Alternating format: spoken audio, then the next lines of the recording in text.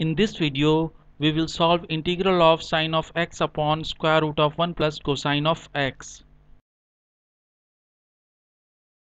Let i be equal to integration of sine of x upon square of 1 plus cosine of x with respect to x.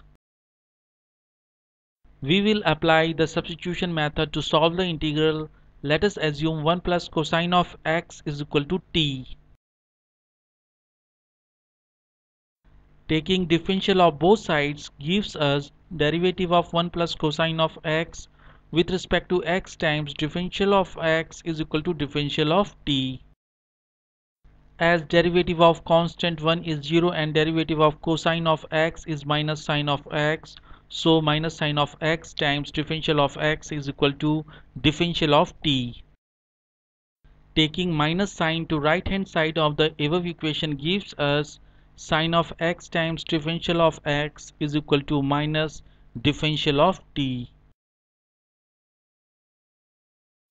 Substitution of 1 plus cosine of x by our assumed value t and sine of x times differential of x by minus differential of t in the integral i gives us i is equal to integral of minus 1 upon square of t with respect to t.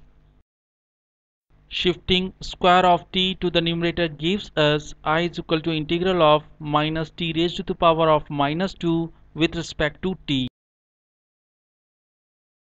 We know integral of t raised to the power of minus 2 is t raised to the power of minus 2 plus 1 upon minus 2 plus 1. So i is equal to minus t raised to the power of minus 2 plus 1 upon minus 2 plus 1 plus capital C. Capital C is the arbitrary constant of indefinite integral. Never forget to add this constant.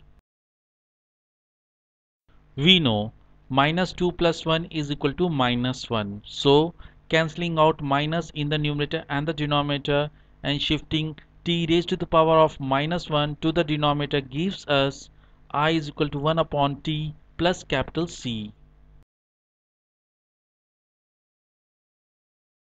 Let us substitute t in terms of x.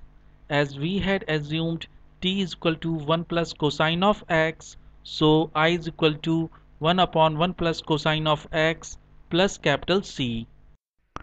Thank you for being with me. I hope you like this video. Please click the like button and subscribe button. Do not forget to press the notification bell so that you get the notifications of my new videos. Share the video and do write in the comments. I am eager to listen to your thoughts.